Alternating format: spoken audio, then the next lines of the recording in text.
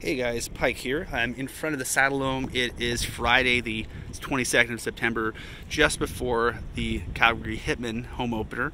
Uh, as you see here, this is the State of Stampede Trail. It's getting there. It's, uh, according to the Cultural and Entertainment uh, sector's website, the district's website. This is supposed to be done around today. Obviously, it's not done yet, but as you can see here, it's no longer a pit. It looks pretty road-like, so it should be getting there.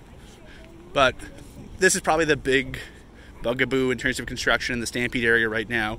Uh, if you look north of here, uh, the area between uh, 12th north towards the National Music Center and Stampede Trail. That's closed because they're still doing, I believe, utility work related to the train. Uh, similarly, there's utility work over north of the Rundle Ruins on 12th. They're still tying that up. Uh, but other than that, you know, it's it's getting there. It's just obviously still a work in progress. But as you can see here, uh, there's still this beautiful thing that should is apparently on track to open uh, by Stampede 2024. So uh, sooner than later, but still not immediately.